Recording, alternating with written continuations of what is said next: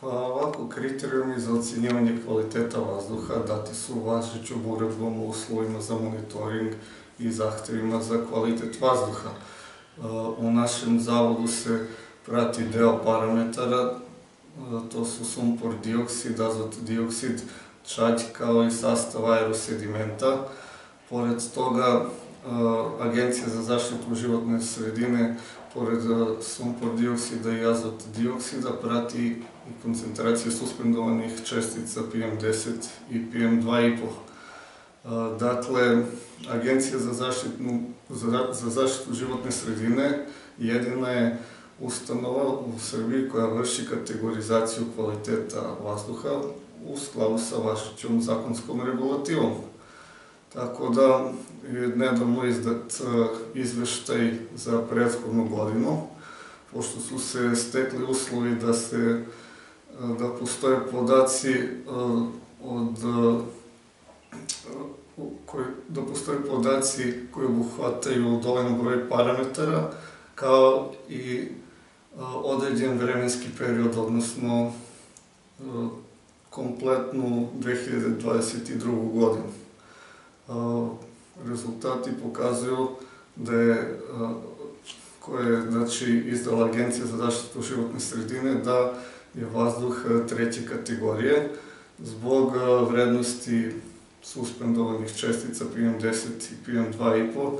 Naši podaci za sumpor dioksid, azot dioksid, čađ i suspendovane materije, kao i podaci koji se preklapaju u Agenciji za zaštitu životne sredine što se tiče sumpor dioksida i azot dioksida, pokazuju da su vrednosti ovih parametara daleko ispod graničnih vrednosti, čak i po 10 puta da su 10 puta niže vrednosti u odnosu na propisane.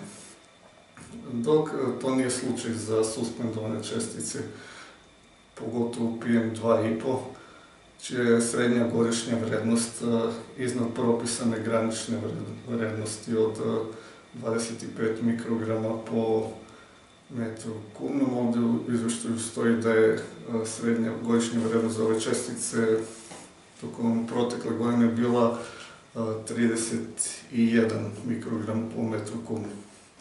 Odakle, kako je to moguće? Znači imamo čađ koji je 10 puta možda, da. ajde, da, nije 10, ali mnogo više puta manje od dozvoljenog, a o, imamo i te PM čestice koje su znatno iznad prosjeka. Odakle nam dolazi čađ, odnosno ne dolazi, a odakle nam dolaze ove čestice? Pa ovako, vrednosti čađi i sumpor dioksida, azot dioksida su ujednačene tokom dugogodišnjeg perioda posmatranja, dakle one vrednost, vrednosti tokom leta za čađ konkretno su vrlo niske, dok imamo dane tokom zimskog perioda kada je intenzivnije loženje, da se vrednosti ovih parametara prekoračuju. to je daleko zbog karakteristika uređaja i karakteristika ovih čestica gde je sam proces te detekcije složeniji i moderniji. Dešava se, dakle, da ta merenja koja su vrlo precizna pokazuju da u zimskom periodu naročito ima više dana sa prekoračenjem graničnih vrednosti. Dakle, za PM10 ne za PM10 postoje i dnevne vrednosti i srednja godišnja vrednost, dok za suspendovane čestice PM2,5 postoji samo propisana godišnja srednja vrednost.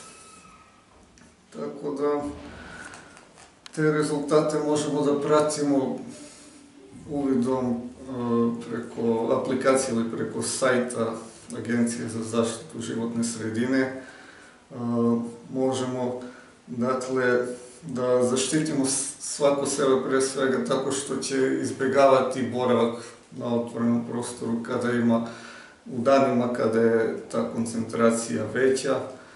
To je, dakle, zim, zimski period je problem svake godine kada se više loži, kada, dakle, vremenski parametri budu takvi da su nepovoljni, da je hladno, da nema strujenja vazduha, naravno nisu baš povoljni ni faktori sredine, odnosno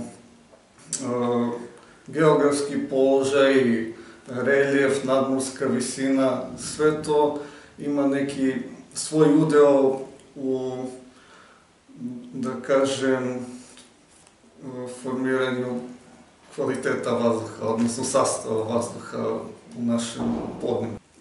Taj, potrebno je da opština, odnosno lokalna samouprava donese akcioni plan koji će dati rezultate u kratkoročnom periodu i akcioni plan za dugoročni period. Ceo taj proces je spor, iziskuje dosta angažovanja, novca i vremena, kao i saradnju relevantnih institucija koje se bave ovom problematikom.